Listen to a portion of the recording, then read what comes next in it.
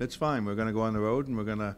There's not much pressure, but again, we're going to go play those games, work hard, and compete hard, and uh, hopefully the good things happen to us. But you gotta, you can't go into those games and saying they don't mean nothing because they mean a lot.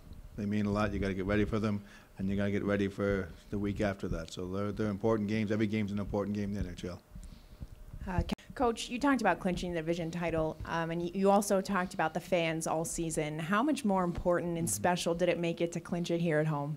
It was unbelievable. Like I said, tonight reminded me a lot of the first game. I mean, we were out there playing hard and competing hard, and uh, our first game was a was an unbelievable game, and then again tonight was an unbelievable game to finish it. So it, uh, our home schedule was great. Our team played unbelievable in this building, and uh, to see the way we won against a real good San Jose team tonight, and then uh, you know obviously the the winning goal was an unbelievable goal that they'll never forget forget here, and uh, so it, it was fun. It was a lot of fun.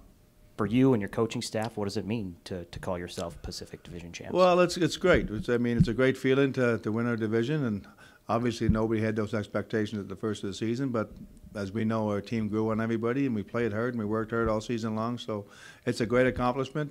But uh, we all know what the real accomplishment is going to be. It's all about the playoffs and getting now. Now that we know we're there and uh, we have home ice and we clinched our division, it's getting ready for the playoffs and well, before that we got three more games, but you got to get ready and get, make sure you're set, and uh, that's what that's what that's what's important to me. I mean, a great regular season means a lot, but a great playoff is going to mean a lot more.